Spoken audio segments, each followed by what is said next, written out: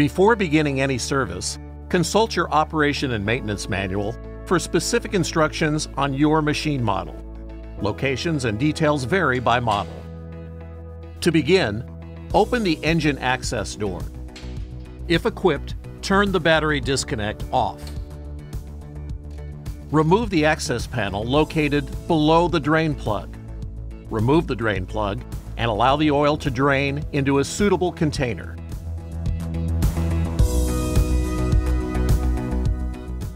Install the drain plug and install the access panel.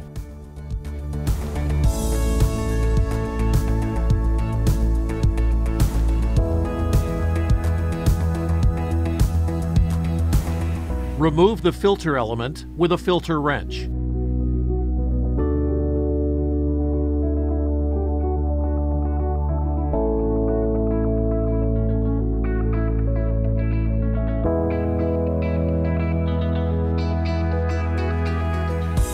Inspect the used filter for debris. Refer to the operation and maintenance manual for more information.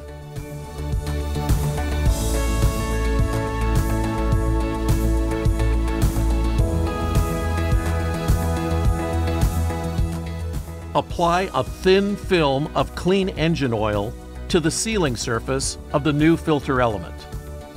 Install the new engine filter and hand tighten one turn after the seal first contacts the base. Note the position of the index marks on the filter in relation to a fixed point on the filter base. These rotation index marks on the engine oil filter are spaced 90 degrees or one quarter of a turn away from each other. When you tighten the filter, use the rotation index marks as a guide. Tighten the filter according to the instructions that are printed on the filter.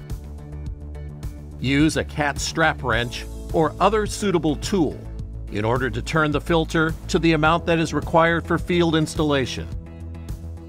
Make sure the installation tool does not damage the filter. Remove the oil filler cap. Fill the crankcase with new oil. Refer to the operation and maintenance manual for more information about the oil. Clean the oil filler cap and install the cap. If equipped, turn the battery disconnect switch back to the on position.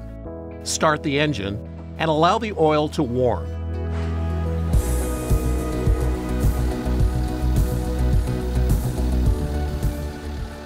check for leaks.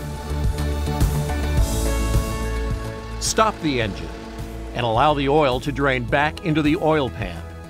Fill the crankcase to the full mark on the dipstick.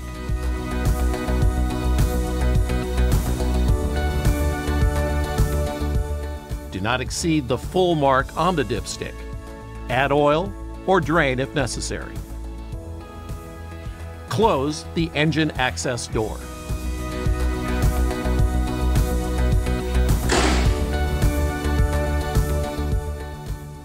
For more information, consult your operation and maintenance manual or your local CAT dealer.